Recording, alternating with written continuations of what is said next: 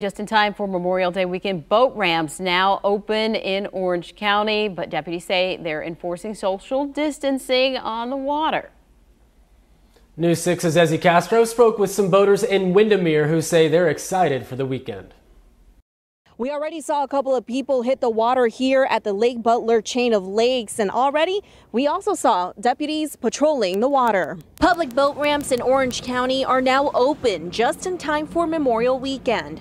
County officials closed the ramps back in March due to the pandemic and say social distancing will be enforced on the water and the number of people on the boat ramps will be limited. We're super excited. We've been um, looking on the news, checking online for all the ramps. We've even been calling them. Krista Rivera and her family are happy to start off the long weekend sailing, but they are also well aware of the rules. We're a group of under 10. Um, our boats will be spaced out, so it's just great to be out of the house. Working from home every single day for two months has been a lot. We were there as crews removed the barriers from the Lake Down boat ramp this morning.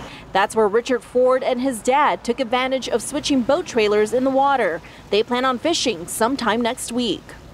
Uh, it feels good. I mean, I think it's been, you know, it feels like it's been a long time that it's been closed. So it's just nice to, you know, be able to access the water again. And, and deputies here at the Keene Park boat ramp tell us that they're going to be patrolling all weekend long to make sure that people do not bring alcohol to the park. And of course, they expect more people throughout Memorial Weekend.